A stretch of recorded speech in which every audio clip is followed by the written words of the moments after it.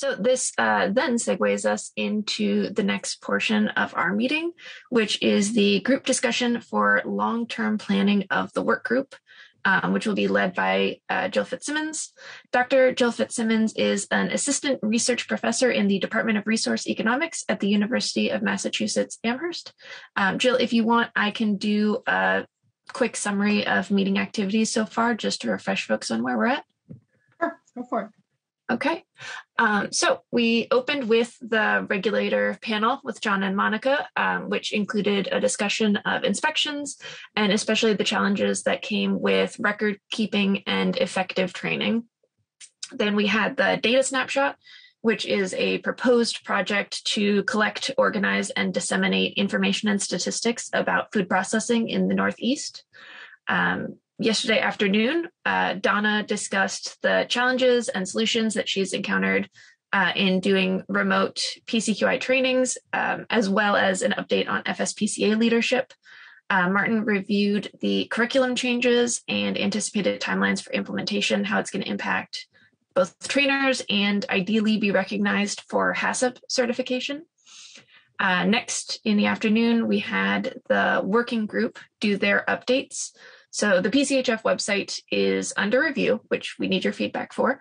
Um, and uh, we're going to try and get it up to date, get it up to speed. At that point, it will be handed off to the awareness subgroup who will do the site launch and get it spread out to you guys so that it can then move on to processors. Um, this project is nearing its completion, which we're really excited about. Um, and so we're almost there. Um, after that was the evaluation subgroup presentation.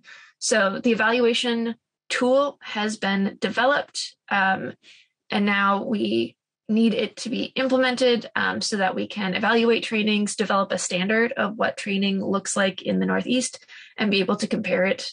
Um, it would be a really useful tool that um, we can use to all improve our work and to improve regional knowledge. It's a matter of really getting it into people's hands and implementing it now. Um, and then lastly, we just heard from Andrea, but uh, we just heard from Andrea. So I think we understand where we're at with that.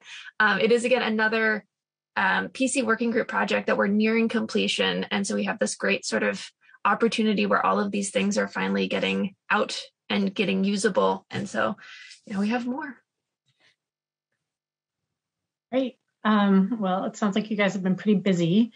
Um, so, uh, as Annie said, my name is Jill Fitzsimmons, and I, I, have met a number of you, but not all of you. I'm an economist, a social scientist, but I've been working with a handful of you guys over the last, I don't even know, three or four years. so I have, um, they, the Annie and Elizabeth um, asked me to help facilitate this session because I have like sort of a working knowledge of all the language and all of your acronyms. And so hopefully um, I have, you know, some awareness of the issues that you guys have been grappling with. But of course, um, you know, I'm not, I'm not in it as a, as a food safety person. So um, my job here is to help facilitate a conversation about what the future formation of the preventive controls working group should be. Um, so I'm going to share my screen. I just, after some consultation with folks, we sort of came up with a general structure for this conversation. Can everyone see that? Okay. So we have about an hour and a half. Is that right? Yeah. Okay. We have about an hour and a half. So let me just say, first of all, that it's really, as a social scientist, it's really gratifying to see you guys um, doing the work to sort of step back and do self evaluation. And so, you know, I don't even know how many years ago now, Andrea, we started that. You started that process, and I was helping you guys with the sort of setup of that process, um, you know, and some of the question design. And it's really, it's really gratifying to see that that you are all invested in this conversation, and that you're putting the work in to sort of do, you know, do the due diligence to understand what it is that you're trying to accomplish and what the best way to get there is. So I just want to say that I appreciate it. I really am, it's, it's exciting to see results. So thank you for sharing those results. Um, okay, so let's see my slide. There we go. So the just to sort of give a perspective, you guys have your preventive controls working group, and the larger goal of this group is to increase the technical support and educational guidance to small processors affected by PC, right? So how can NECAFS achieve this particular long-term goal? Um, and the objective for this session is to really kind of take a step back and say, is this working group on the right track? If it is on the right track, how are we going to improve it or how are you going to improve it? And if it's not on the right track, what should NECAFS be doing instead of the working group structure as it exists right now? Okay, so just to give a quick outline, we're going to go through, we're already a little late, but we're going to go through and we're going to uh, summarize. No, we're not late because Annie just did this. She summarized the conference so far. I'm going to ask Amanda to really rein it in and give a one minute back background backstory of the working group itself in, in just a minute. Um, uh, and then we're going to do some conversation. This is really a conversation session about the challenges encountered by the working group so far. And then we're going to move into how should or could the working group um, structure itself to better reflect the work that needs to be done. Um, so just as a, as a recap, just as a framing, so we all remember the Preventive Controls Working Group over the past few years has had three components, I think committees are what they're called. And one of them is the Evaluation Committee, one of them is the Resources Committee, and one of them is the Awareness Committee. So Amanda, take it away. I'm gonna give you one minute if you can, can keep the backstory to one minute. Thanks, Jill. Go back to the, the pillars there, I guess, is the, so I'm just grooming to remind you, I guess, what the preventive controls working group is looking to achieve today is reflection and candid uh, feedback. One of the things that's been so exciting is because of these meetings, we've been able to have these discussions about how do we best address the target audience and you know validate uh, i sidebar sell validating feelings but more importantly what we've been able to do in the past was prioritize and we realized okay before you could do this you need to do this. Before we need to do this you have to do this. And that's how we kind of evolved into these three pillars. But as annie just mentioned a moment ago a lot of these projects have pinnacle milestones that will be achieved between now and the next six months. And so what we want to have a discussion with you all is do we need do we want to keep these three pillars? Is there a new based on the work that andrea just shared about the needs do we need to reevaluate what this focus should be on? That's where we want to go. So we're not held on these three pillars but rather want to reflect on that. What is working? What doesn't work? And what direction do we want to go on between now next year and a few years out? So the idea was to kind of share and reflect on the, the successes we have presently but then also start thinking about how we can build a strategy that continues to build on that um, momentum Great, thank you. It was a little over a minute, but I'll give it to you. Good job. All right, so um, so I guess the first thing I want to say is let's just first go back to the larger goal of what the working group is. And the first thing is, you know, I want to make sure, just as a as a gut check, that everybody agrees that this should be the larger goal, right? Uh, is there anyone who wants to raise this conversation, or do we all? I'm going to assume if nobody raises it now that we're all on board that this is the larger goal for the working group. Does anyone want to address that or question that? And, and this is, it's good to do that, right? This is the purpose of this call is to sort of dig into this stuff. Does anyone have any concerns with the framing of this larger goal? All right, so Annie, did you oh, to say something? Oh, this is something I think about a little bit. To what extent are we sort of providing the support and guidance to processors? And to what extent are we just supporting the larger preventive controls community as they do the direct work. Um, and I think this is it's a little bit of a balancing act, but it's something that I think sometimes we straddle the line with is rather than eh, directly helping processors, we're really focused on that like middle ground of helping those who help processors. So what you're saying is that that, or at least what I think I hear you saying is that one of the things that is not specified so far or hasn't been in the past is who the target audience for your work is. Mm-hmm. And that mm-hmm. may have raised some confusion about what what is really what the purpose and what the sort of activity should be. Is that true? So, so perhaps there needs to be some clarification about is the target audience the per, the processors themselves? Is it the communicators, as Andrea uh, defined for us earlier, or is it some, you know, are there multiple tracks of target audiences, but do we need to clarify when we're talking about, you know, evaluation, awareness, et cetera, which which target audience is really in mind? Um, is that is that a fair? Does anyone else want to weigh in on that sort of distinction? Did, can I get? Um, we're going to go for emoji uh, voting. Can I get a, a thumbs up or thumbs down from people if you if you agree that that's something that needs to be considered? You've got one thumbs up, a few thumbs up. And and just so you guys know, I'm I'm you know I teach classes, so I'll start calling on people. I'm not shy about that. So oh, there we go. There's our thumbs. All right, thanks. Okay, so it sounds like for the most part, people people agree that that is something that needs to be considered. So we will. That is something to um to note. And I forget now who's the note taker on this session. Is that I am.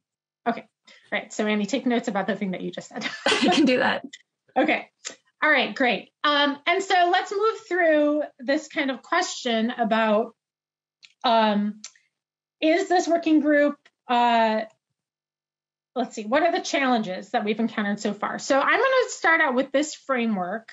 And if we get some good participation, we'll stick with this framework of just having these sort of bulleted questions, trying to encourage conversation. If not, we have I have another tool we can use to try to do a little bit more of a um, concerted, you know, sort of task oriented uh, conversation. So let me just ask if anyone can, um, it, you know, you could sort of deal with these bullets, or are there other, other challenges that people want to toss out? Um, Annie just tossed one out about identifying the target audience. Does anyone else have any sort of challenges they see with the organization of the PC working group at this point? No. Okay, Donna, I'm going to ask you. Oh, Beth, thank you. Beth, go for it. Yeah, I can say just um, kind of being involved in one of the groups is um, something that uh, one of the biggest challenges we've had is just having people to execute some of the work that we want to do. And so, um, so for some of the projects and some of the things that we that we go after, it's if you don't have who can dedicate time to it um, and really make it a priority, then it kind of just gets put to the bottom of the list. Um, so a lot of us are volunteer our time to participate. Um, and then Annie is paid by NECAFS. So that's why she was really able to es- execute things um, in getting that website up and going and putting those resources in and spending the hours to catalog all of that information. So um, that's just one of the big things that I've noticed just working is having people on the ground who can actually do some of the work and carry out these projects. Beth, or what, if committee? We, oh, sorry. Or then I was just going to say, if we don't have people to do like who can really do that, then we have to sort of think about projects that we can design where it can be a light lighter load for people to carry. Um, would you just say which committee, just for for context for me more than anything, which committee that you're you're referring to? It's the resources okay. group. Okay, so so what I hear you saying is that um, there's this. It's a working group, but but once you've identified the needs or the resources that are needed, then it's sort of like okay then who who does it right? Like and and to some extent there might be a pipeline where the ideas can be written up into a grant but of course that's a whole bunch of work itself right to do. And then the question is who does that and who owns that and who follows through on that?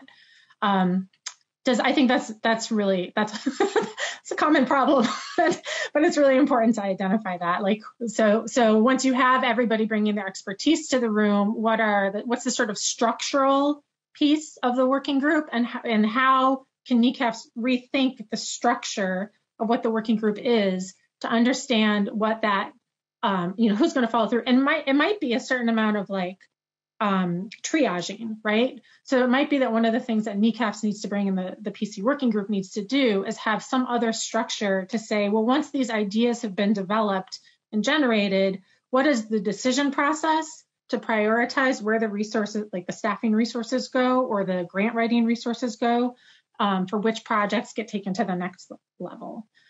Um, does that, is that, does that make sense to people? Does that seem, okay. Um, Nicole, did you have something you wanted to? Okay, but could you, what challenges do you see? I'm going to put you on the spot. Okay. Yeah. Um, here in Rhode Island, one of the biggest challenges I've been having is just like reaching the people. And, um, you know, when I talk to my inspectors, they talk about how, um, you know, people are just really unaware of the regulation, whether they have to comply.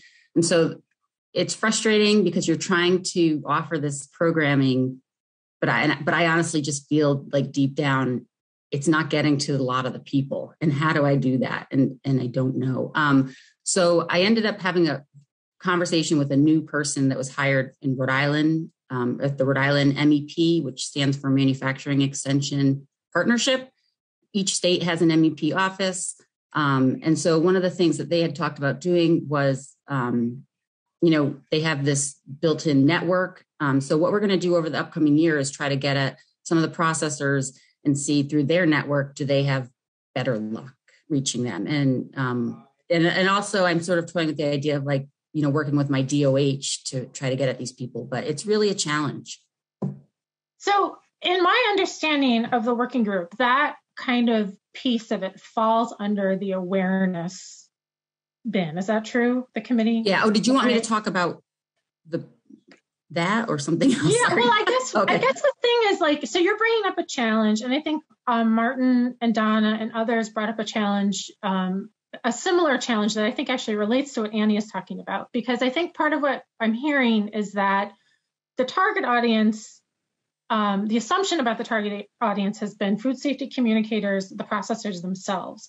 But there are these intermediary or groups, right? There are regulators, there are inspectors, and then there are these associations like what you're talking about. And then there are state boards of health or other public health sort of groups. You know, I think every state has sort of a different configuration there. And so mm maybe those, you know, when I step back and I think about the produce rule, I think the rollout of the produce rule was really facilitated by USDA and state departments of agriculture. And the preventive controls rule is challenged because that isn't the same structure, right? And so it sounds to me like what you're identifying here is a different target audience that needs to be considered in in this in this space. And, and and perhaps a few of them and actually maybe martin or donna if you're if you're willing to jump in here um, maybe you could say you know what role the working group plays or what you think it could play or what the challenges are with the current structure and how i have a kid home today. So hold on just a second. Yes you can watch the magic school bus. Well i i can jump in here. I i think um Hi. One of the one of the things that um, I did in in New Jersey was that I worked with the Department of Health, and actually over, yeah, over into Pennsylvania, even with the Philadelphia Department of Health, and we we worked really closely with these different groups back at the beginning of the Food Safety Modernization Act they wrote some grants to be able to, to do the training. So I did training with a lot of these groups and I've done a lot of training with regulators. So in New Jersey, I have I have lots of these kind of people sending people to me saying, look, you need some training, go to Rutgers, um, you need to take a class. And and I'll I'll be honest, because um, I, I, you know, I'm booked pretty far out on as far as my schedule to to do the trainings and do the consulting. As that when the processors approach me saying, "Well, we won't help with a food safety plan. We won't help with writing this stuff up." I just tell them, "You have to take the class first. You come take my class, and then I always encourage them try to write it yourself, and then hire me to review it for you." Right? Because um, I have to charge them. It's going to be expensive for me to just write your plan. It's going to be expensive for any consultant to write your plan. Take the class and you try to do it yourself first, and then get some, you know, and get some help with it afterwards. So. I, I don't think I'm I'm quite the same place Nicole is with trying to go out and find people that need my help, and that I, I get plenty of people coming to me. But I did work with the the local health departments, the state departments of health, and my um, my federal FDA people for my areas with this in the beginning. So they do funnel people to me. So I think I think you're on the right track, Nicole, with saying you, you need to get your Department of Health involved so that they understand they can send people to you when they find people that are non-compliant out there. Yes, eh, yes, and they do, but it's a, it's a slow trickle, and maybe it's because they're inspect they haven't inspected you know a large number under preventive control, so it's you know it's that as well. They've they conducted twelve inspections last year, so Oh my goodness. Okay. it's yeah, And, So and do you have there's a lot something local? Like we we've got the New Jersey Food Processors Group, which is a pretty it's a pretty active group. Um, mostly in South Central to South Jersey, though we don't reach into North Jersey too well. Mm. Um, but yeah. I don't know of any organizations like that that are really active in the area, but that's something look to, worth looking into. Right, because that that's where I I do a lot of work with them because we can more of the processors will come to those meetings, and so every meeting, you know, I'm there saying, look, you know, if you haven't if you haven't written these things up yet, if you haven't been audited yet, you're going to be soon, you know, and once you are, you're going to be in trouble. Please let us help you with this before you know you have a regulator come in and look for something you don't have so that's a one of the places where I am on a monthly basis is is meeting with those groups and saying, look, you know, we can help you with this. I could give you a mm-hmm. list of people, you know, other states around, but people that can help you with these things. Yeah, okay. So that's really so from a sort of structural standpoint and how the working group might be able to consider this as part of as part of their um, as part of the structure, part of the tasks is maybe to think a little bit more about how you know work like that what you've done in New Jersey, Donna, can be extended or um, documented or you know creating some of those connections. Like perhaps the working group can think a little bit more about um, about I don't want to say replicating because I think every state is just really different, but but thinking about how that model can be applied, um, you know, maybe that's maybe that's a, a challenge that the working group might want to think about in in a different structure. Um, Nicole, does that seem Mm-hmm. Close to what you're trying? Okay.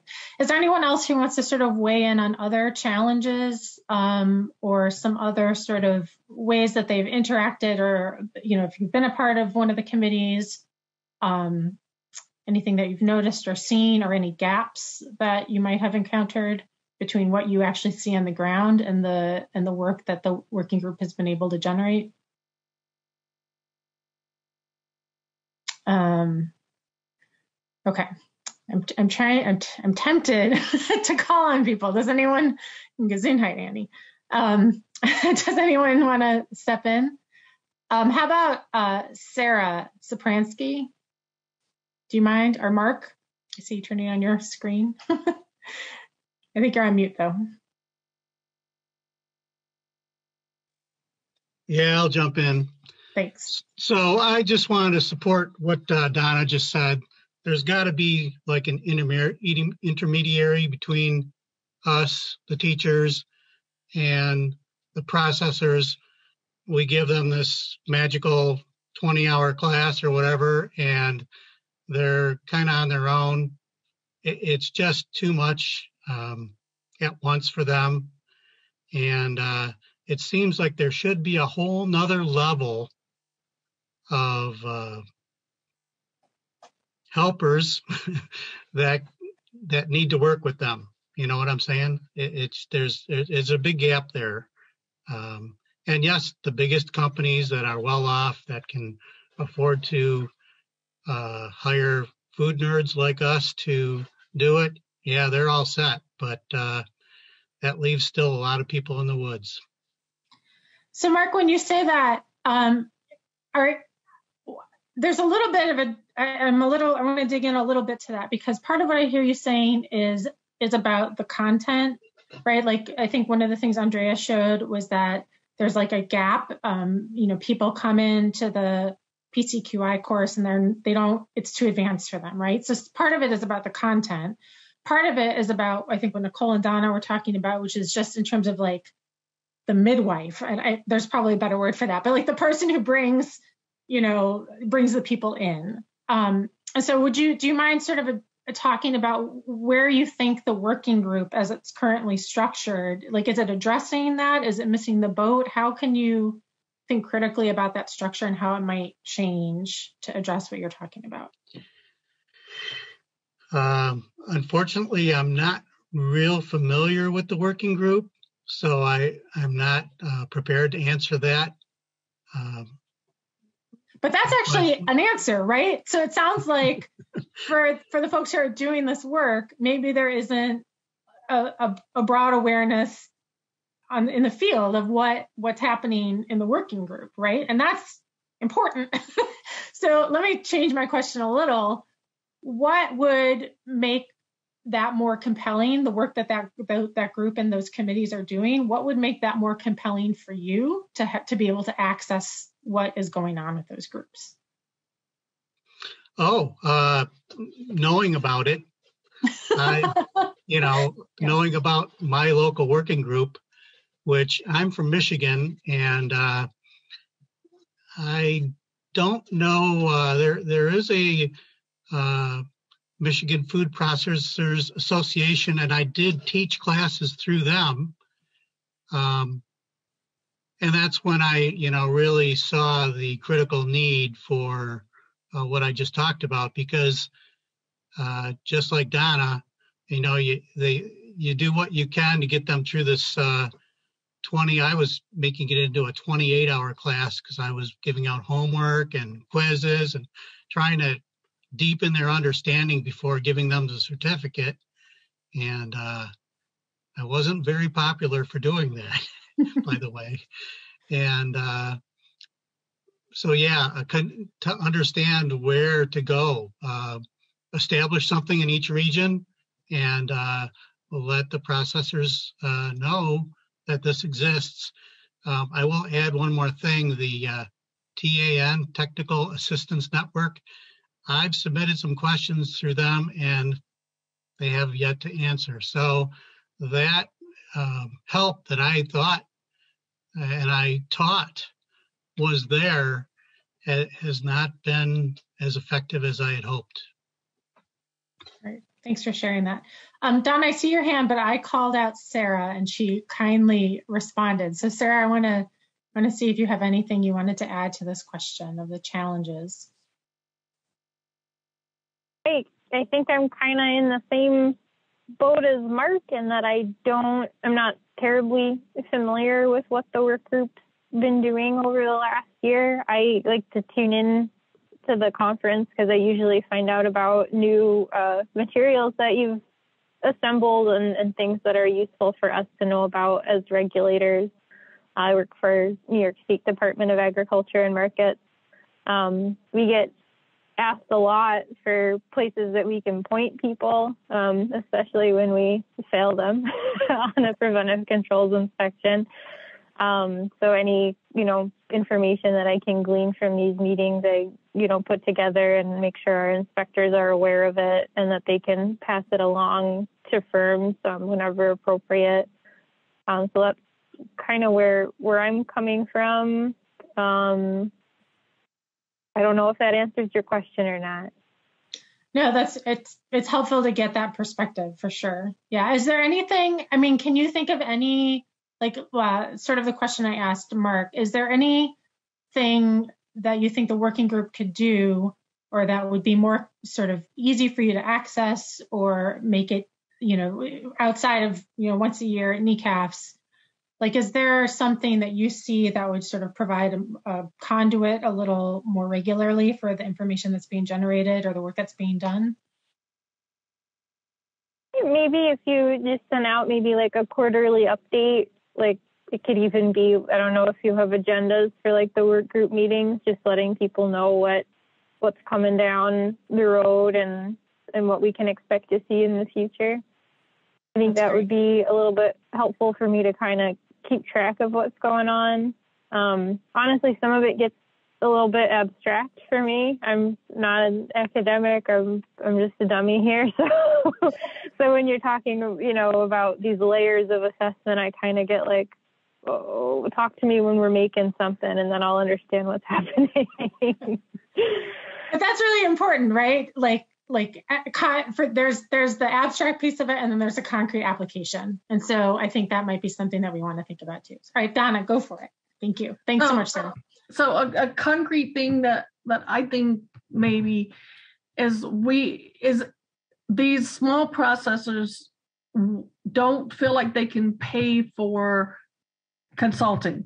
Okay, so and and as um, Mark pointed out, there needs to be people to help them after they take the class. So in the beginning of this, there was a lot of grant money, a lot of funding out there for people to take the class what I think what is needed now is some some grant money, something to pay for the consulting work, to have to to identify those of us who could do the consulting work, but have a way for them to be paid for without the processor having to, to bear the full burden of it or to help make that less expensive for the processor and have the people that are on the working group and the people who do this kind of work have a way for them to work with the processors maybe at a reduced cost to the processor. I think that that would be something that would be very beneficial to the processors because um, the biggest thing that i hear from them is besides taking the time away from work is the cost of it As an economist, I, I concur. I agree. And I think having resources that are devoted to providing technical assistance is probably a really um, a good a good place to go. And and so part of the question is how does that fit into the working group? Um, I don't know, you know, I think maybe we can kick that to the next part of this conversation, um, but I think it's just to, to highlight that that's what you're talking about. Yeah, I had one. I had one comment I'd like to make. You know, I was just thinking as we were talking about some of this stuff. eh, You know, one of the things we did here at Penn State is we established a, um, you know, we have a, a hotline for our home food preservation, consumer questions, and you know, it's a, it's a no cost system outside of the fact, you know, that we have people in place that can take the calls from at the county level. And what we do is when when a person has a question, you know, they contact the county and then the county basically sends out the question to people who have volunteered within our extension system to mm-hmm. answer the question. And what it allows us to do is it allows somebody to provide information who has that information. So you know if somebody calls in and they're you know they're making jam you know and you know the question comes in and then you know the question goes out to a group of experts and they somebody says well hey i'll take that you know i can answer that question I wonder if some type of system could be set up that could be similar to that. Because I know a lot of times, you know, either people don't have the time or they don't have maybe the, the specific knowledge to answer questions that come into a state, you know, something comes in and, you know, I'm not maybe a seafood expert, you know, so, you know, maybe I could say, hey, you know, I could send that out to this listserv and maybe, you know, Lori says, hey, I could, I can answer that specific question because I've got that experience. So I wonder if we had a system like that that was able to, you know, take in and disseminate questions that could, you know, where we could all help each other, you know, with with specific knowledge that we have, or maybe the fact that we have more time than somebody else does, you know, to to answer those types of questions. You know, I, I think it, you know, uh, you know, I know Donna was talking about consulting, and and you know, she does some of that stuff, and you know, here at Penn State, we generally, you know, we generally don't. We we provide, you know, more of that, you know, where to find stuff or how to find stuff or, you know, maybe some basic information. And I think for the first step of that, a lot of times is, you know, providing that, you know, where to go or how to get it, you know, and if we had a system that was in place that allowed these types of things that came in for us to disseminate that and then for a person who's knowledgeable to answer that or to get back with that with that particular client Mhm. I, I think that would be useful So some kind of network, and I guess again, my word is not exactly yeah right. some kind of Maybe like network some kind of some kind of some kind of system that allows you know allows us allows us to capture these issues as they come up and then to allow that issue then to get distributed to somebody who has either the time and the capability of you know providing that support Yeah, it, it makes me think of um I don't know if this is how it works for you guys, but in our like professional association for economists, we sign up and we click all these boxes about what our area of expertise is. And then when it's time to like review conference ab- abstracts or whatever, then they say, okay, well, here's the pool of people who said that they were, Yeah. you know, food safety economists. And then if it's a food safety economics tagged question or abstract, then we're the pool of people who get it. Is that kind of Yeah, something like that. Yeah. But I think it has to be something that's active. I mean, it, you know, Yeah. certainly I think we have a system that lists everybody's names and all of that, which is great, you know. Mhm. Um, but I think if, if you had a system that was a little bit more active, a little bit more, you know, um, where we can collect it and then immediately disseminate it. You know, again, we we use this with our eh, for our consumer questions, and generally, you know, we we've got a basically a group of about twelve of us. We can answer pretty much any question that comes in. Generally, our time is less than thirty minutes. It's usually Mhm. within, you know, fifteen minutes. That client gets a call back from somebody, you know, who has that specific knowledge and can help that that particular client. Mhm. Um, I don't know. Just, just. no, just- that's a great idea. I, I think Annie had a something she wanted. I think it was in response to this. So Oh yeah, I- well, and I think Martin answered it a little bit, but um, both Donna and Martin, a lot of these um, concerns and desires to like offer direct support to the processor is a little bit what the PCHF website was intended to address. But it sounds like too the big deficiency there is that it's a static resource. Relatively, it'll be updated, but um, you know, it it just sits there. It's not gonna kind of walk a pr- processor step by step through the process. If I am understanding sort of your assessment correctly. Okay. thanks, Annie. Amanda, did you want to jump in here? Uh, Yeah, I think um, what Donna and Martin are saying are very interesting and realistic components. And and so for those that don't know, Jill and I have a project with Christina where we actually thought, oh, we will just give these people, these small presses, more more uh, support. So we gave them like a one hour webinar before. You don't know what PC is. Here is a one hour webinar. And then we did a three hour workshop. And then we did um, the preventive controls, but we kind of followed the similar model that Mark did. Instead of 20 hours, we did 28 hours. Then a month later, we hosted and we ripped the blended content and did a reprise with working groups to talk more tangibly about this for the next six months. And still, uh, you know, I naively thought, "Uh, then everyone will have food safety plans and implement them tomorrow. And that has not happened because they don't right they're still deer in the headlights so i guess i just want to echo the concern and i think the opportunity it, in addition to awareness needs to happen and i think there's a lot of great ideas of how to leverage new organizations and new strategies are there but perhaps that handholding that donna and martin were the the thing to give them that and i guess the only other thing i want to say is that to, to your point donna i often say to the client don't hire a food safety person yet. Do all the stuff work first because it's better for you to know and it's cheaper, but you are better for it. But I think there could be some seed ideas here of Martin's idea of this leverage systems of uh, tech support, Donna's idea of having them own this accountability. But if you have this stuff as a prerequisite, you know, like this continued on ramp, like, okay, if you do GMPs, then your HACCP, then your PC classes gives you fundamentals. Then if you come and do your preliminary work, then talk to a co- consultant. Maybe NECAFS can offer tech support at some capacity. But you, I I guess I would argue, I would encourage us to think about if this is a thing we could invest in. It's not just giving that away, but they have to show that they're doing the work and now they're ready for the support so it can be more effectively implemented. So let me let me just reframe that. Um, so I think in terms of what the working group is doing or could be doing, it sounds like there's basically a life cycle issue here, right? There are different, um, you know, businesses enter this at different stages and they have a sort of different life cycle. And I think what Martin is talking about is more that like first touch, right? Like how do you how do you get somebody at that first touch to the right information? And then there's all these other steps like what donna has talked about what amanda's talking about of actually and, and a little bit what mark was talking about pulling them through right? And giving them the support. And how can the working group structure itself to address these different needs at these different stages?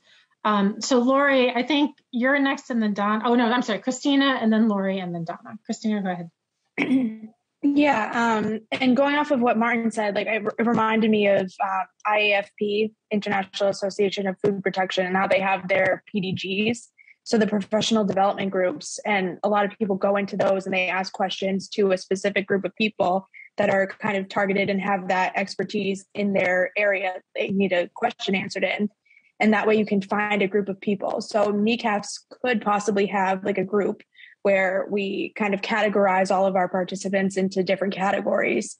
So that automatically feeds into like who is responsible for answering certain types of questions if they were to participate in this type of um, like support. Um, another addition that I had on was um, often like when when I write food safety plans and I do consulting, you get people when they're really desperate so they're not going to want to hear like you have to take a three day course that's only offered three times a year in certain places and that costs $2,500. Um, so we have to kind of catch them when they're not at a vulnerable time because that also kind of plays into their ability to to go forward with our courses as well. They're not going to really learn to learn. They're going to just want to get it done. Um, so that's what I've seen over the past year or so. You can't really catch them when they're super vulnerable. We have to get them early. Um, so like, how do we go about doing that as well? Yeah, that's a great that's a great point. Um, Lori, do you want to go ahead? Um, so I think we're at a point with the small processors who who may may not need to comply fully, but still need to have they still need to have modified compliance in a way. And then medium processors who may need full compliance. They're at a point where it's like, just tell me what to do. You know, it's that syndrome. Just tell me what to do and I'll I'll do it um, without fully understanding what they need to do um, and why. And I agree with Mark and everybody else. Um, I think I think we there needs to be some sort of centralized thing through NECAFS to help us do some of this. I think produce has a lot of it. Um, I think we need some sort of centralized help um, because I don't know about other people, but I mean, I'm supposed to be retired, but um, you know, when I was, Amanda's laughing at me, when I was working uh, full time, this was not the only thing that we did. I mean, you know, we're stretched too thin, doing too many different things, and we can't focus. So to put put uh, put cooperative extension people in, in a position where we're we're now also doing all the follow up, and I know that's important and getting you know, trying to give everybody help. That's why I think we really need a central place where we could go to, which is what cooperative extension folks do. I mean, we're always reaching out to our colleagues all over the country that if we know what they do for help, it's something we've always done. But because with the with the with the with this particular issue, the the issues are so diverse, and you know products are all over the the the the, scale here. I think we need a a, a, a, a, a cooperative extension, you know, or something. Just just just a, a well of people who we can just go to and say, "Does anybody know about this?" And it's all a little bit like seafood again the the seafood group that we have um, that that is out of now oregon has taken the lead on that where you just you, you you go on to that that group and you say can anybody help? and people are always willing to give their advice. I just think that we need something like that and we need NECAFS to sort of step up and and help us put some of that together great. So so what i'm hearing is that the Pre- preventive controls working group whether it's the working group or something else. But somehow NECAFS um, the space that NECAFS is creating needs to include something that can provide support a little bit like what Martin was talking about perhaps and and so that people who are in the field have resources. And I mean honestly I'm going to say this I know this is not what anybody wants to hear but it sounds like a person right um, and and I and I'm going to I'm to say that out loud and be the mean the terrible person who says that out loud um, just because that's the role I'm in. So here I am. Um, so Donna, do you want to jump in? And then we're going to switch over to the next part. We're a little bit bleeding into the next part anyway, so it's okay, but um, go for it. And so I was actually just wanting to kind of go back to what Lori said earlier, that that the thing we're missing is that resource guide that um, like the seafood HACCP guidance um, which we don't have for all these different things. But I think, I think you've, Amanda, I think you guys have started out with some model plans. And I, I think one of the things that the, the group could really help us with out there is if there were more model plans um, that were accessible for different types of industries. So that you know rather than just a person who who knows about this but if we could post some more of those model plans for the different industries. So when you have someone come to you if you if you never worked with a coffee processor before you can say oh you know what? There is a model plan that gives you a starting point. Because that's what a lot of these people just the starting point. So if you can say well here's here's a model plan that's something like yours. Now if if they could just fill in the blanks that's that would help them i think tremendously as giving them more of that type of information. Okay so having so i i don't know if the clearinghouse annie is is trying to do that create more of these model plans that are available well, Donna, my lead instructor, train the trainer, told me that there is never a model. The only model is in that damn book. It is an exercise. so let's just get that out of the way. okay, that that was the that that was the officially sanctioned model plan, but uh, yeah, we all know that's not actually that great either. So I didn't mean to. Sorry, Jill. no, that's okay.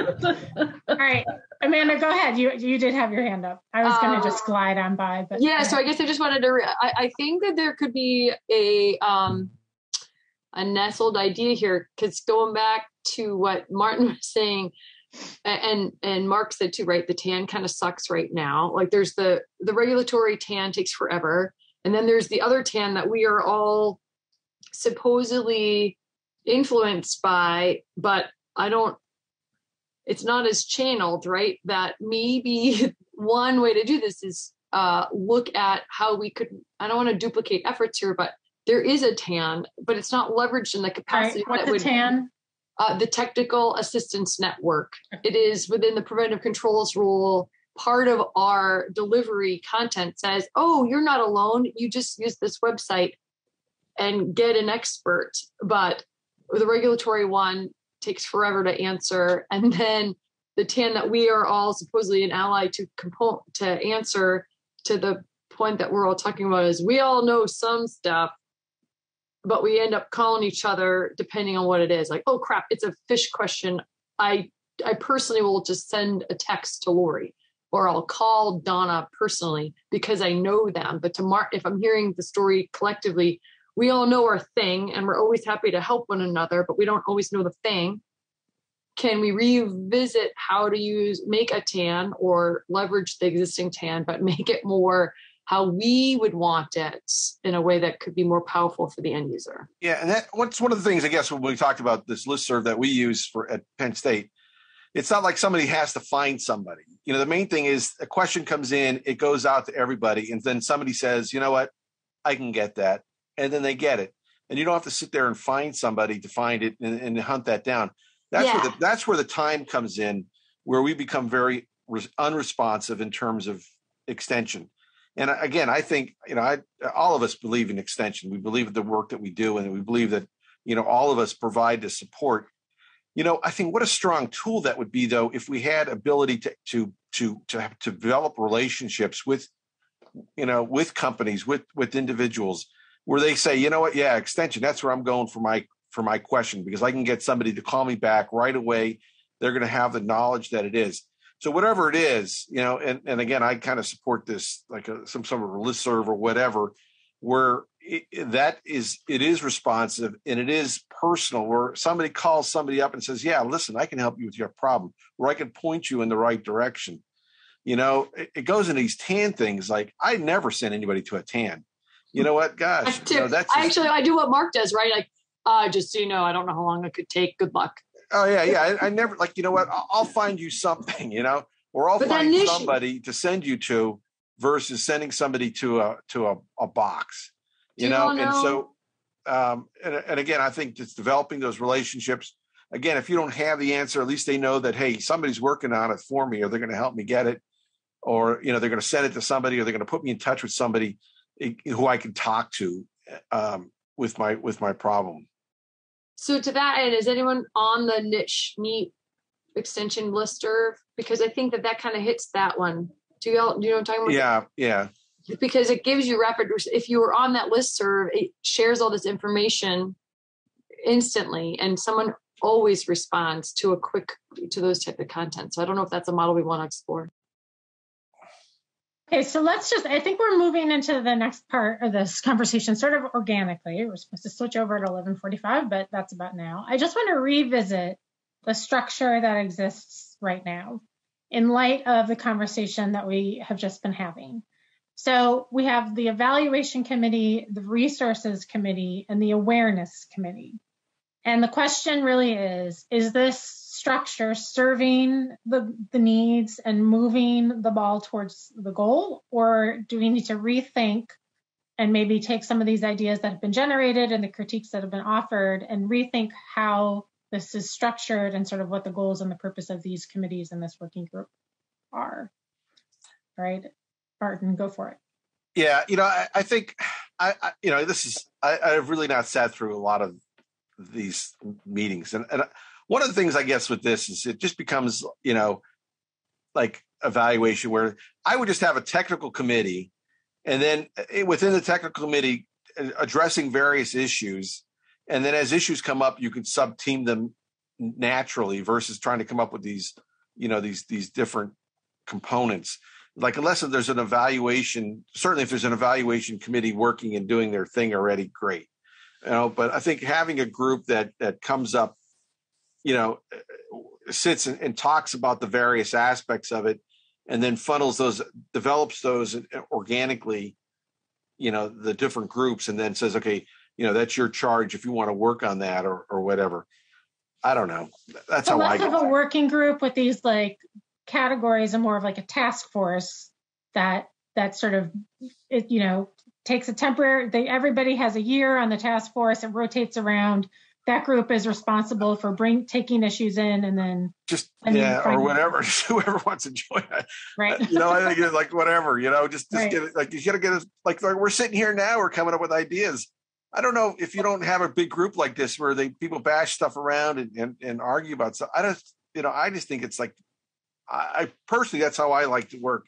You know i'm sitting here learning and, and listening to things and and you know like wow that's a good idea or that's a you know bad idea or whatever but it's nice to have a, a group like this where you can come in and sit down and, and, and listen to some things and i don't know okay annie did you want to did you want to weigh in here And, and maybe this is a, a weird way in for me since I, I do a lot of the coordinating um, activities for the group, um, like setting agendas and stuff. But um, I do th- think that sometimes, um, like with the website project, um, because Beth runs resources, she knows the project best. And as we've gotten into this point of evaluating the website, it seems more logical that it would hand off to the evaluation team. But because Beth already knows the website best, it makes, you know, and Beth has been developing the survey tool with me.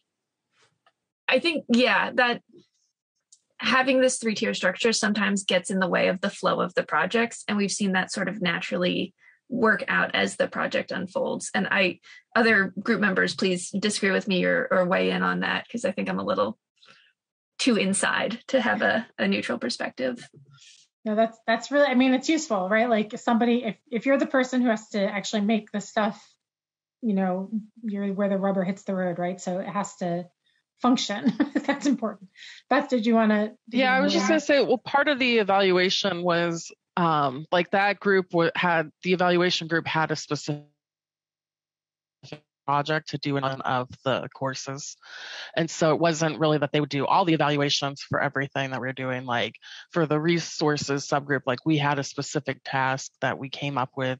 Um, we know we created a proposal at a previous meeting, we presented it, and kind of it went from there. And so I just kind of I think that that evaluation of the website is sort of within the scope of that project. So each of these, I don't know. I, I think each of these sort of groups, from my understanding, was like we were all founded and we all had a specific project and a specific sort of goal that we were going after. And I think some of those are wrapping up now. Um, and so I think part of this discussion about having these three pillars is now like, well, do you need a resource group anymore? To Martin's, like, do we just make a general group now and come up with projects, or do we form like a new project and have a new working group uh, attack and um, execute a project? I think that's part of the discussion. Yeah, so that's I think that's a really um, helpful perspective. So these three subgroups had projects, and I, as far as I understand what you're saying, many of the projects are basically at their natural endpoint anyway. And so maybe this is the time to say, well, these aren't the categories for the committees anymore, because now we have some new projects that are being identified in the course of this conversation that would better serve the long-term goal. So does anybody have a major um, disagreement with that sentiment or, or, but yeah, let's go with that. Let's go. I just want to echo with, what Beth, uh, as okay. a person that's been on the working group member, a couple of things. One, mm-hmm. I want to echo exactly what Beth said is I feel, and on behalf of the working group, there's no love lost here. This is why we want to have this discussion and open table that um, if anyone is interested in actively being a member of this working group, we would love more participation um, in the future. So just as a component to that. Um, so yeah, now I think if we want to have this conversation about, all right, do we, we don't, maybe we don't need any of the pillars, but we want to have that conversation here. I would say the awareness campaign, we have not actually raised awareness, as I mentioned yesterday. So I think that that needs to be some sort of activity. It's in the queue. We have a plan, but you know, that is just my two cents. Okay, so it sounds like the evaluation and the resources are the two committees that have projects that are coming to a natural end. But awareness, I should have known this, not so much. So maybe um, the the group that is the group that has some, um, oh, you know, the the people who are working on the awareness part might want to continue that that portion of it, and then maybe some of these other issues with technical assistance network, et cetera, are things that we need to generate differently, and perhaps the evaluation and resources group reach their natural end. I think Nicole, you're you're up next. Yeah, with the evaluation, like in one respect, yes, it's reached its end, but in the other respect, we have to continue to collect the data, analyze the data, and, and pool the data. So I think uh-huh. it has like um, I think it can still simmer along, you know, as other groups emerge and you know, I think it still has relevance. Um, That's exactly not, what I was going to say, Nicole. Yeah. Is um, the research, in my opinion, the research group and evaluation. It is fair to say that the foundational structure has been built, but there's going to need to be a sustainable management component, whether it be foraging new resources or managing that component, and assuming people are on board with using the same evaluation tool. Data has to be centralized, and the make sure the mechanics are happening. So it's not as big of a lift, but it's still work. Mm-hmm. So that so they don't have a natural end. Maybe this portion of it is at a natural end, but they still have ongoing work. Now, for me, this raises a question about, you know, does NECAFS have the bandwidth to really create more committees, right? Like, so there are these these issues that have come up about what would what could you know what is lacking, what might be able to fill that space and improve you know how do we identify who our target audiences are? How do we reach out to some of these intermediary groups that might help us reach the target audiences? How do we use the networks of expertise more efficiently to to parcel out questions and to find mutual support? So these are all things that people have been identifying um, but but if there are already three committees that are ongoing and there's already some concern about pulling people in to support these committees. What what is the sort of natural next step here? That's that's kind of the question that's coming up for me. Lori, did you want to weigh in? I, I just really have a question slash comment. I, I know I saw this yesterday, but I don't know what the where's AFDO in all of this? I mean, here is the you know we're in the, conversations with AFDO. Well, we got to a point of we we met with them looking for some I don't I, I want to be is being cheeky with Donna, but the adjective is wrong, like endorsement, support. Would we want to have AFDO on our communication strategy so that they can help us with the dissemination. But what we found out was they will not promote giving guidance to um, the resource plan that we are pit- developing until they see it because they want to have that rigor. So that's where it was like, okay, well, we will continue to maintain communications with them, but we can't actually ask for the ask until the website materials are already built so that they can see and we can demonstrate the rigor that we um, collaborated on to make it useful. So the other part of this, Amanda, and, and obviously you know, is there's that side of it. And then there's the side of it is reaching out to the processors. Yes. That so that they can help get those folks into the classes. Yes. You know, meet with us, do that. Where are they with that? that well we didn't get that far we did we in recaps annie's been doing foia requests freedom of information to get Okay. access to the processors umass has our own we have our own directory where we so we have corralled access to processors they're mostly secondary it's not you know the ones we have from extension directly and then these other ones that are their info at lines but those are happening right now in the back scene on the awareness campaign so that when things are ready to rock and roll, we'll be able to ditch it out. Yeah, they, I think they're really important in all of this to get where you where where. Yeah, but I think like Nicole Nicole's com- recommendation about revisiting MEP is an opportunity. Um, you know, and then uh, to Donna's point, she's got a great relationship with state boards of health. I have a decent relationship with them, but they're not very responsive to establishing a relationship or doing that work. And I think part of it is because it ain't a problem right now. I did just use ain't, so your mother might faint. But with all seriousness, in Massachusetts, the same thing's happening like Rhode Island. We're not getting calls yet about the PC rule because there hasn't been a lot of inspections. But I can just see it; it's coming. It's just not here yet. So there's very little motivation for processors to listen to us until they get shut down or the feds show up, and then they start using the language that no one knows, and then spiral effect. And it also depends on the DOH. I mean, my DOH mentioned they've been nice. They go in, oh, you don't have an attestation. You're going to need to get an attestation. They could easily kill them. And oh, well, and I, I'm going to, now you're evaluated under the whole rule. So, you know, it's, um, so these companies really just don't know. Donna, you want to weigh in here? Oh, you're on mute. Um, I I think I I- from the response a few minutes ago, I think a lot of people weren't aware of Shawn Stevens. Shawn Stevens is the he's the attorney that goes up against Bill Marler. So he's the one that's on the processor side on these really big, you know, uh, prosecutions that have taken place for food processors.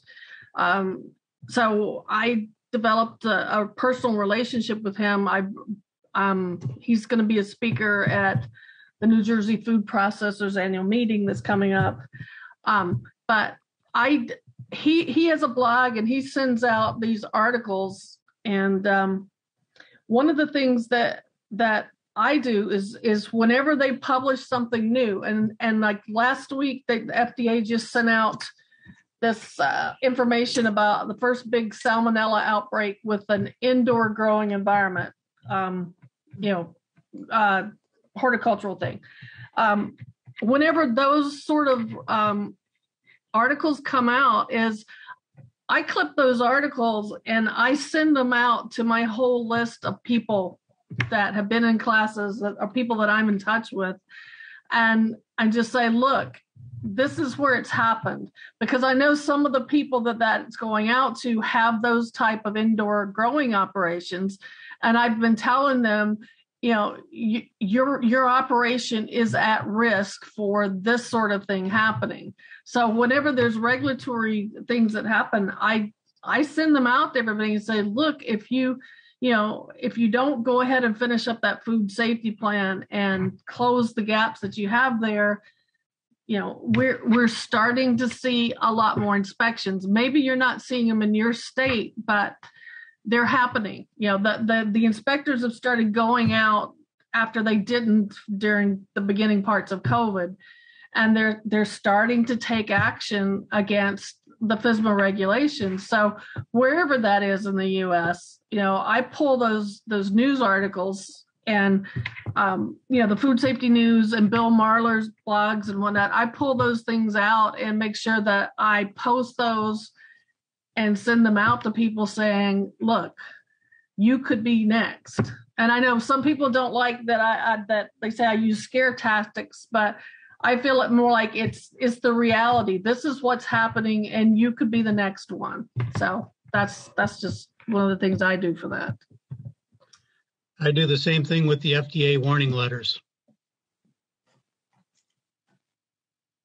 So, um, so in terms of the working group and the working group structure, um, I guess Annie um, and Amanda and Beth um, and Cole and, and anyone else who's you know active in these working groups, part of the you know the goal of this session is to try to understand whether the structure right now is working or not. And it'd be great if people think it's not working, if we could come up with some alternative. We may not be able to in a, in a session during a conference, but I, I want to take a little bit of a moment here to just um, do a gut check and try to ask people whether we think that the current structure, these new ideas, uh, it can absorb these new ideas right? So can this idea of um, thinking about different target audiences, can that be absorbed in the awareness committee, for example?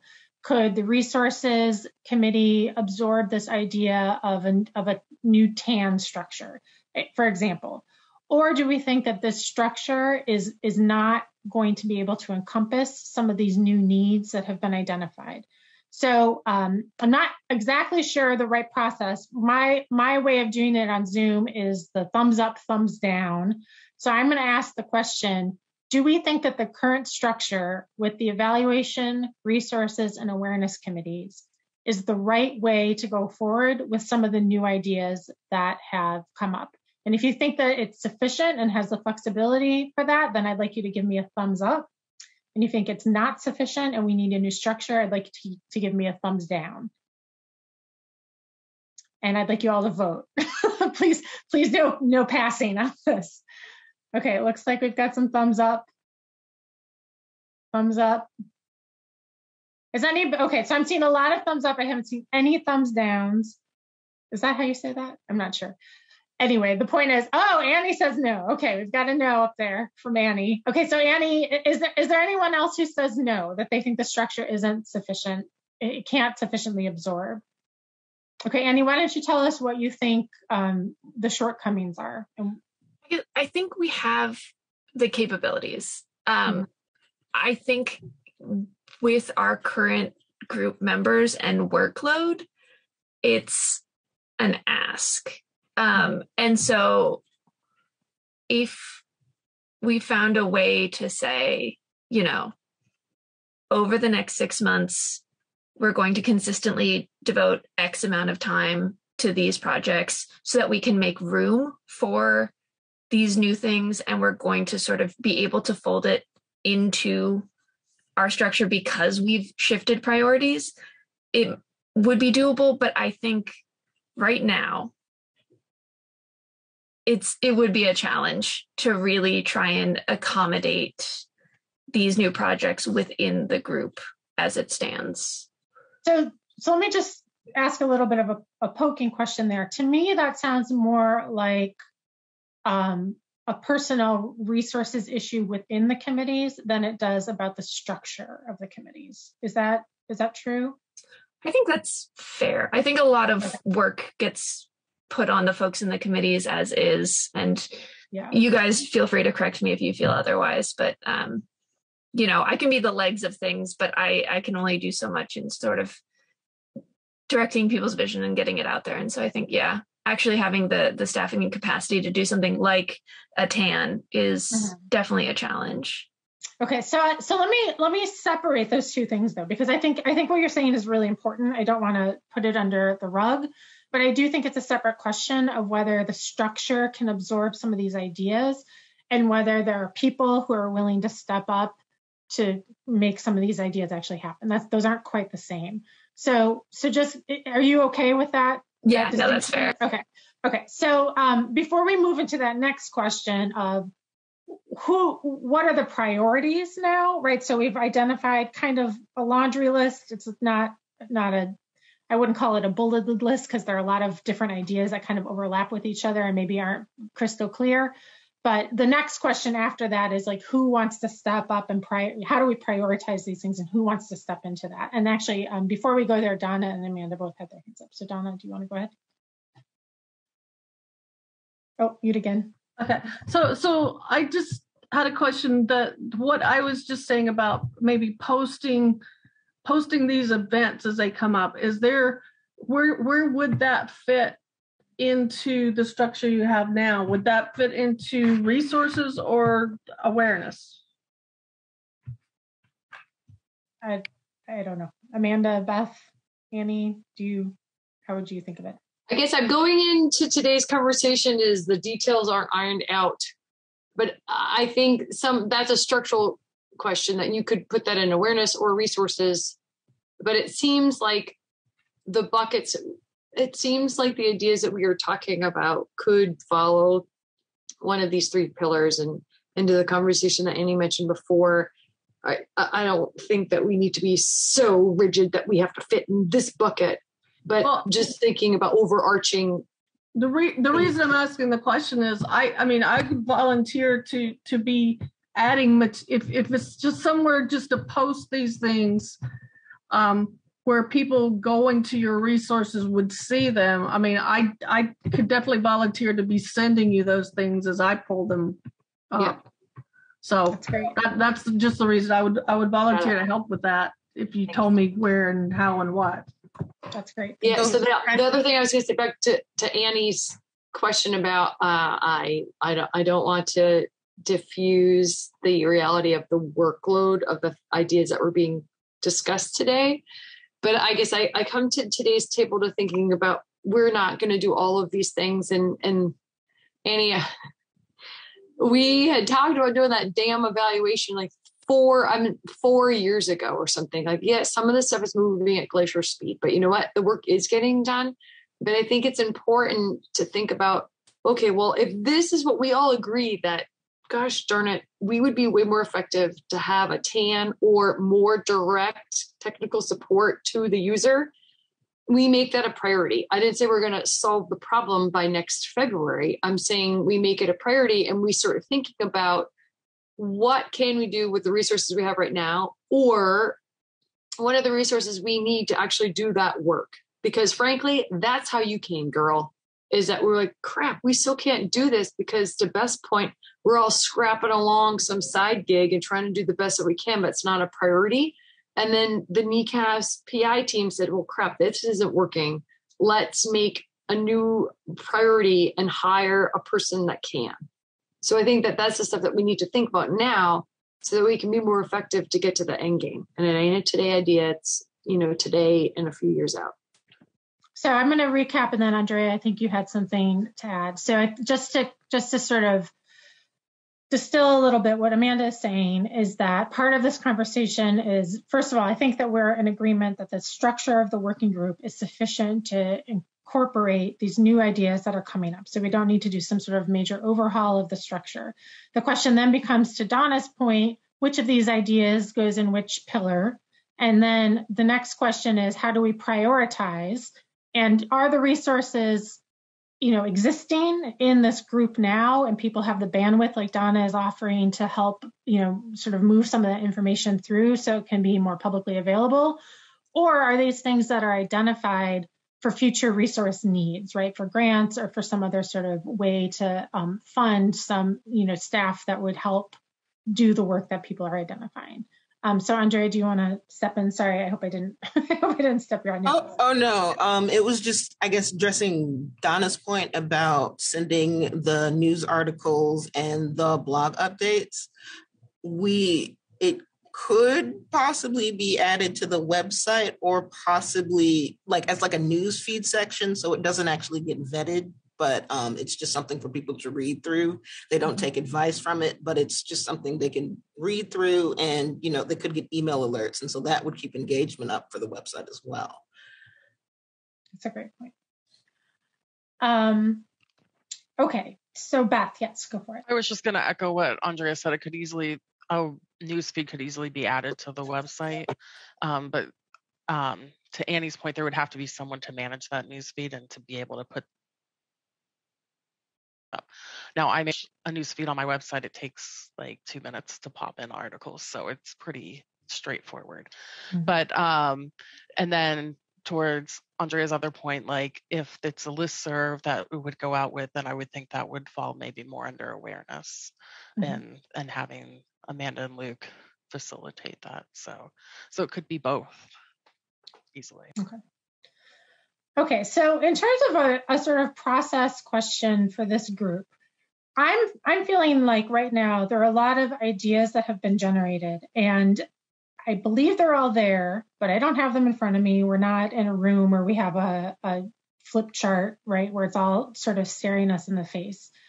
Um, and so I'm not sure if if our next steps are to sort of continue tossing some of these ideas around and identifying people who would help with different ideas and figuring out which pillar different ideas would go in and trying to think about the prioritization or if that's something that needs to be done once the ideas that are generated have been sort of collated and, and they're right in front of our face. So I guess I'm putting that to the group a little bit to Annie um, and Beth and Amanda and Nicole and other people who have been active in these committees about what you think, um, you know, how how the rest of this time should be used.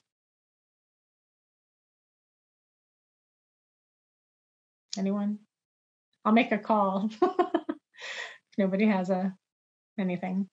I I really don't have an opinion necessarily about that. Um,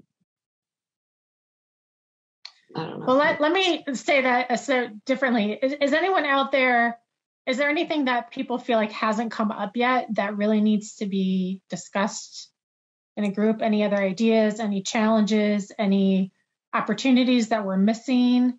any sort of, you know, concrete reason that hasn't already been identified about why some of these paths forward are perhaps not going to work or you know what the challenge might challenges might be in trying to pursue them uh, well now now i will be on annie's side to saying the thing that's getting me itched like okay ugh, how would we do that is a channeled centralized network to provide better technical support for the region about specific stuff and the things that Martin's recommending. And I don't, we're not going to solve that today, but it does introduce a lot of um, different technical questions about the realities of how you would do that, structure, admin, resources, and those kind of things. So that's not what you asked, Jill, but I'm just mind dumping of um, you're we're not going to solve that in the next 10 minutes. Right. Um, but that to me is the screening thing that comes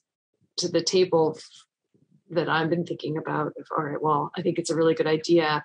How do we tap that idea? And i so i guess that that's where my head's at does anybody feel like they have um they I, I don't have this right now, but I'm wondering if anybody feels like of the ideas that have come up, they're ready to sort of put them on the screen, maybe in the chat, and then we can all sort of think about how we would upvote or downvote the priority of of different ideas. Does any? I, I don't have. I I wasn't taking notes, so I don't have this in front of me right now. Um, and Zoom is not the best tool. The alternative would be that we review the notes and that you know NECAFS sends out some kind of poll to sort of see, you know, what how important people think some of these different ideas are and how to prioritize the resources and then um, try to, you know, depending on what that priority list looks like, try to find the people who could help move the ball. No one. Annie, what do you think? As as the NECAFS person, I'm going to pass it to you to I was make just about to yeah to jump in. Um, I was going to say if we want to just sort of quickly talk through to make sure we have them all. Um, we can put up a quick Zoom poll where people can kind of vote on their number one priority of the the issues um, or I guess projects um, that the working group is facing. Okay. So um, can you program that poll? Yes. Um, one sec. Uh, so, be what is your highest priority of PC projects? Okay, so um, the way I see it, the current projects being discussed are ongoing uh, resources work, ongoing evaluation work, uh, the awareness campaign. Uh, sorry, I am talking and typing and I'm bad at it. Uh, some sort of centralized um, support tool, such as a TAN, but not necessarily a TAN. Um, um, I think the idea that Nicole and Donna were talking about, about trying to work with intermediary organizations, mm-hmm. departments of health, um, trade We call it direct technical support. That makes sense. Direct technical, is that I wouldn't consider those people. I would think direct technical support would be directly to SMPs. Okay, so that's I think that's different though than what Donna and Nicole were talking about, right? Like right. outreach to these intermediary organizations. Okay. So I would so, put those as two separate things. Okay. Um, okay. Does anyone else? I, I feel like there are more ideas out there. Does anyone else remember any, or do we have any notes about Somebody's taking notes, right? Who's taking notes? It's me. Okay. oh, you're yeah. doing it. um, I guess I shouldn't have uh, been surprised about that because that's yeah. Um, I think this is most of what we have building a relationship with intermediary intermediary orgs. Oh, um, I guess communicating group projects and plans mm. better. Right, right. That was a great idea that Mark came up with. Mm-hmm. I think it was Mark.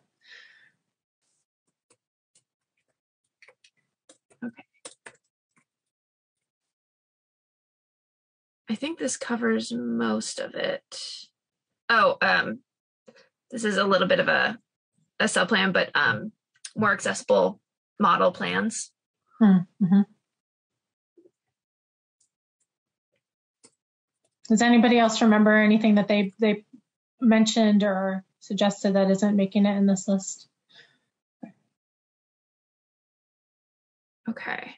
So are we doing this as a rank or? So can you do that uh, on Zoom? Lewis from Perform Media is our, our point man on this. Um, so yeah, if if we have an option to rank them, that would be great. Otherwise, if we can have folks go through and just pick their top priority, that's probably going to be the most informative. So it's a, a little bit of a dot poll with one dot. Yeah. Okay. if you want, I can share a screen and we could have people um, can we have people mark up in Zoom? If you, yeah, you can. You have, if the annotate feature is on, which it looks like it is, yes. Okay. Okay. Just make sure before you close the screen, though, you have to take a screenshot. You can't save it. Mm, thank you. Okay. How about I do that? Then I'll um, put this up as a document and we can have folks. Right, so I'll stop sharing.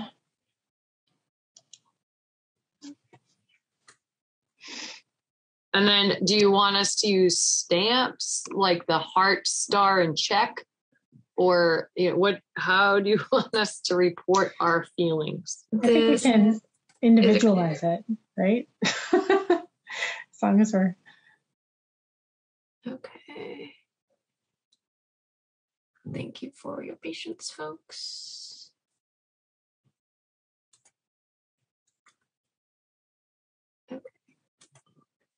I think while Annie's doing this, um, I know there are a couple people on this call that we really haven't heard from at all.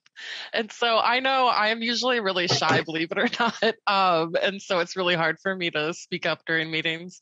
So if you do have like ideas or things that you think of, I mean, even if like you go to sleep night and you're like, oh my gosh, why didn't I this earlier?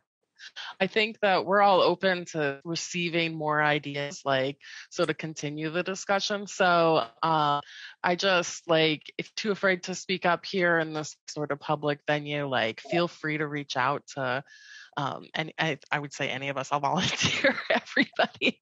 Um, so myself or Annie or Amanda um, or Jill couldn't even be a conduit. Um, I, you know, Nicole. So I, I just want to just make sure that that's like out there, and I'll pop my email address into the chat box so you guys can shoot me an email if you do come up with anything.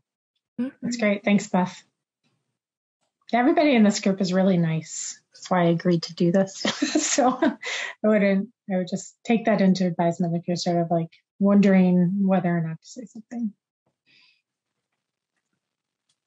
All right. So for those that might not know how to use annotate, if you go to the top of your screen, there's a, a view options tab. And if you hit on the word annotate, a bar, it's going to present up with a mouse, a text, a drawing feature stamp. And so if you hit the text option, you can then rank your things. But you can then start adding to the sections.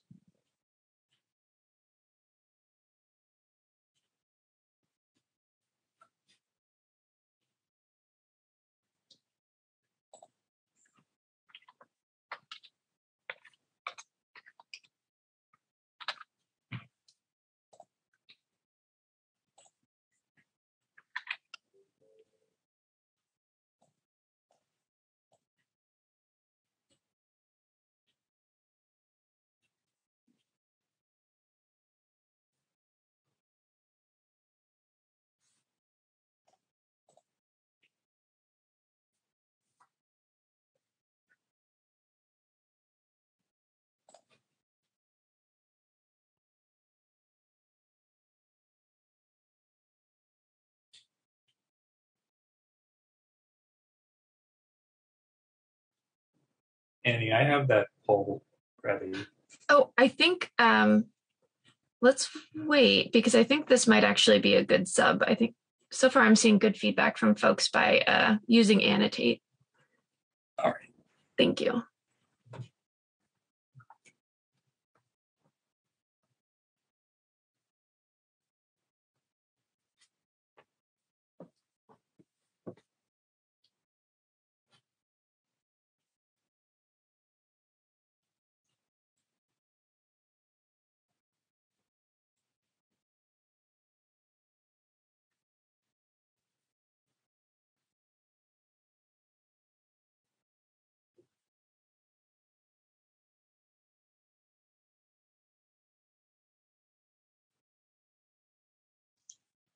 Okay, does anyone need more time? Got a couple people in there still. If you if you're not exactly sure how to make it all work, definitely just pipe pipe up and we can have. I, I don't know how to answer the question of annotate, but somebody else can.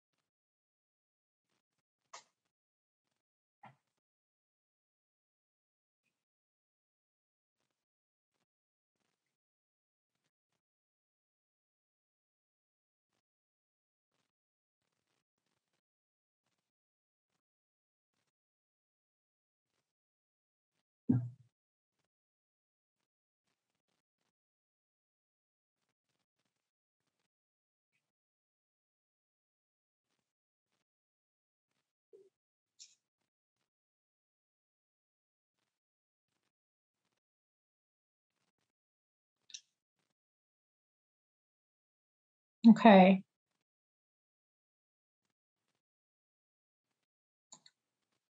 What do you think? Annie, do you guys do you guys think this is enough? It sounds it looks to me like I saw lots of names pop up and I think so, yeah. Okay.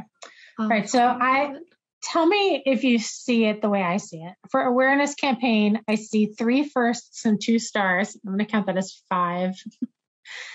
um, and then for the uh, more accessible model plans, I see five stars and a three. Is that is that what you guys are seeing? So I sort of see those as the top two, awareness campaign and more accessible model plans. Um, and then I see four firsts and a second for work with intermediate organizations. So I would sort of think of that as the third rank. Um, and and now we're getting into definitely a, qualitative analysis of how to rank the, the different uh, uh, emojis or you know all that. But um, I guess I would then put uh, direct technical support and better project communication. Does that seem? I mean, this is this is definitely not an exact science, but anybody so that that's what it looks like to me. If anybody thinks that i should be um, evaluating these slightly differently please let me know. Um, annie do, do you agree with that? Can you read back what i just said? Because i immediately forgot once i said it out loud. I i'm sorry because i'm in the screen share i oh, didn't no, have that recorded. Okay.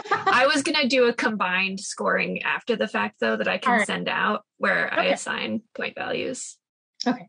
Well, I I, think I think this is I think it's interesting. Um, I mean, first of all, I think the awareness campaign. I think everybody recognize. You know, that that was a running theme. I think really through the whole conversation, right? Is just making sure that the people who need this information have access to this information. So I'm not surprised to see that that's something that people still consider to be a, a priority.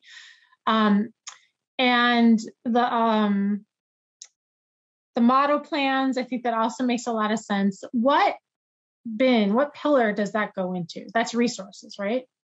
Okay. So that goes into resources. Better project communication, I would put that in awareness. Yeah. So that's like reaching out to other food safety communicators to give updates about what the PC working group is doing. Right. So that other food safety communicators are kept apprised of, you know, how things are going with the three committees. Um, so direct technical support, I think Andrea's comment is right on. That's a heavy lift. Um, that's probably going to require leveraging current resources to find future resources. It's, I think that's the kind of thing if you start it, but you don't have a plan and staffing and funding to continue it, you kind of get yourself a little bit in a corner. Um, so, but it, it does seem to be important to people. Um, and then this working with intermediary organizations. Um, I guess I would put that in awareness. Does that seem to fit for people? To me, this is sort of like the idea of, of maybe asking Donna to do a deep dive on really how she um, structured her work and, and understanding a little more about how New Jersey is set up and thinking about how that could be replicated in some form or fashion in other places. Um, and and then you know following up on some of the work that Nicole has been doing and and work that other folks have been doing with some of these intermediary organizations. Is that so? So that's that's this is my sort of attempt at an off the cuff uh, recap of where things are. I think the next question, I think Annie, you know, you putting this into some sort of document, and then the next step is really finding people. Um, who can who can join and support this work and thinking i think i would sort of suggest that um, the folks who are already on these committees and NECAFS maybe take a moment to think about what the commitment is like what the ask is how to communicate what that commitment is to people who might be considering what they can offer um, and then and trying to give some structure to that so that people don't think they're jumping into the abyss right? Like this this could go on this could go deep and far. Um, so people probably before they are going to make a commitment are going to want to know what that commitment looks like. Um, so that's just my recommendation. Does anyone else want to to weigh in? Um, I this you know this conversation is one of those things where you sort of open the Pandora's box. it's a little scary. Um, but I really appreciate uh, all the participation that folks have been um, you know, folks have been joining and participating in this conversation. I hope it's been useful. Um, is there anything else that people want to sort of put on the table before we, we wrap it up? Any? Okay. All right. Well, I can see my, I can hear my child making loud noises downstairs. So I'm getting a little anxious. This is our first day of our, of our COVID exposure isolation. So Mhm. it's going to be great. um, but I should probably go down and see what's broken. And um, I really appreciate uh, the work that you guys do. Um, and thanks for, you know, for being part of this conversation. And thanks to Annie and Amanda um, for helping me learn this crazy universe. Hopefully, from my end, we can sort of do some some other work on the sort of policy picture about the costs and about what is motivating people, um, folks to to participate in PC and have some sort of you know empirical work that supports what you guys do that hopefully will leverage resources to support you guys being able to reach out more that's kind of my my angle on all this i think that's it annie amanda That's great. Thank you Paul, so much. Jill. Yeah, thank you all for participating today too. Yeah. hmm It Yeah. helps a lot. Absolutely. We really value And this. thanks, input. Jill, for coming. oh yeah yeah send me pizzas i think we're gonna need a lot of pizza for next week all right i'm gonna go have fun Sounds great. All see you later. Thank you. Bye-bye. Um, to let everybody know our schedule Bye. coming up, we've got lunch until 1.30 and then at 1.30 we'll be uh, meeting back up in um, another Zoom room for the report out and closing remarks. Um, you'll want to access that room from the conference page because I believe it is not this same Zoom room. Um, so just a heads up in advance. And uh, I'll see you all guys after lunch.